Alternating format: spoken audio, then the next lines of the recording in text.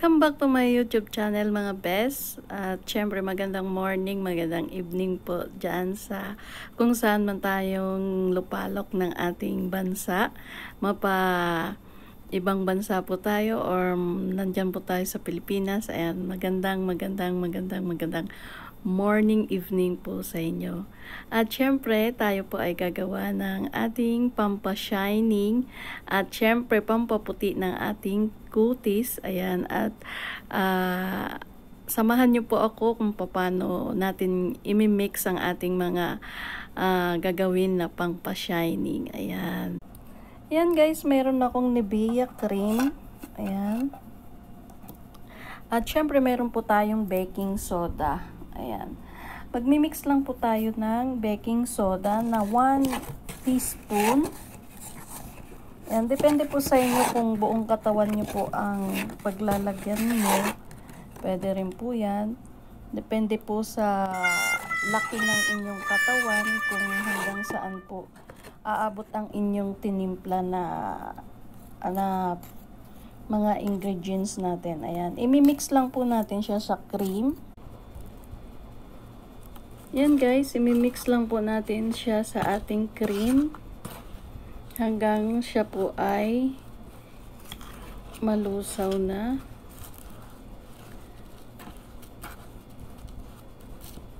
Yan po, mix lang po siya. Ayan, nag sticky na po ang ating minix na baking soda at cream. Kahit ano pong cream ay pwede pong ihalo sa ating baking soda. Ayan. Any kind of cream to mix baking soda. Ayan po, sticky na po siya. Pwede na po natin siyang i pahid sa ating katawan. Ayan. Pero magsasampol lang po ako sa aking braso. At titingnan po natin kung ano ang kalalabasan. At ito po ang ginagawa ko. Twice a week po tayo gumamit nito. At syempre, pagkatapos nyo po gumamit nito, ay kailangan mag-moisturizing cream po tayo, any kind of moisturizing cream.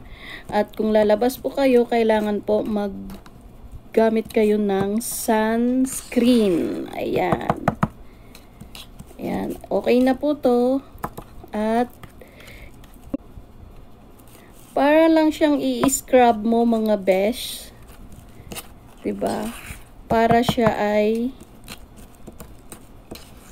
magtanggal uh, ng mga dry skin. Ayan. At syempre, pag natapos po yan, ay magiging shining ang inyong mga skin. At syempre, unti-unti po siya mag improve unti-unti po siya ng ma uh, shine at puputi po siya. Dahil kung every uh, two weeks, every week po ay twice a week po ang gamit ninyo. Ayan, napakaganda po siya sa balat. Smooth and shining. Ayan guys, ang ating skin before. Ayan. Ayan po siya. At ngayon guys, i-apply na natin siya. Parang scrub lang po. Ayan lang, ganyan lang po siya. I-scrub lang po natin siya sa ating balat kasi siya po ay tatanggal ng dry skin. Ayan, sa mga daming dry skin dyan, tsaka sa mga dead skin, ayan, pwede po kayong gumamit ng ganito para matanggal po ang inyong mga dry skin. Ayan.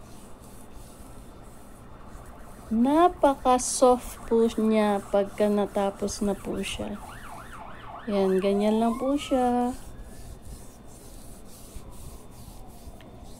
Then, scrub nyo lang po ng mga uh, ah, 15 or 20 or 15 minutes. Ayan.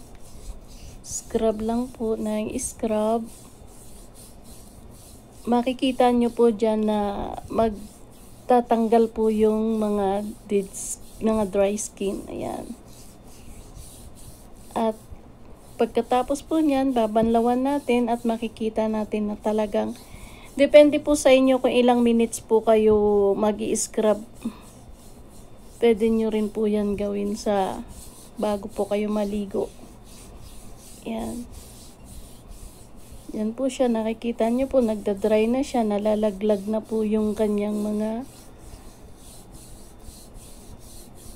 ano dahil na i-scrub po natin ng ating mga balat. Ayan, nakikita nyo po.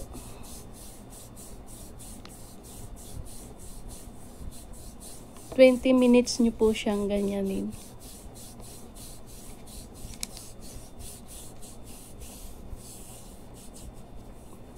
Depende po sa buong katawan po ninyo. So, mga best, kung bago ka pa lang sa aking YouTube channel, ayan, don't forget to subscribe, like, and share. And syempre, pindutin nyo lang po ang button para updated ka sa aking i-upload na video. Thank you very much guys! At syempre maraming salamat sa mga subscribe. Ayan, at nadagdagan na po na naman ng aking mga subscriber. Ayan, thank you very much po sa nag-subscribe. God bless po and ingat po tayong lahat. See you on my next video. Bye! At syempre sa gusto pong mag-comment, ayan, comment below. See you!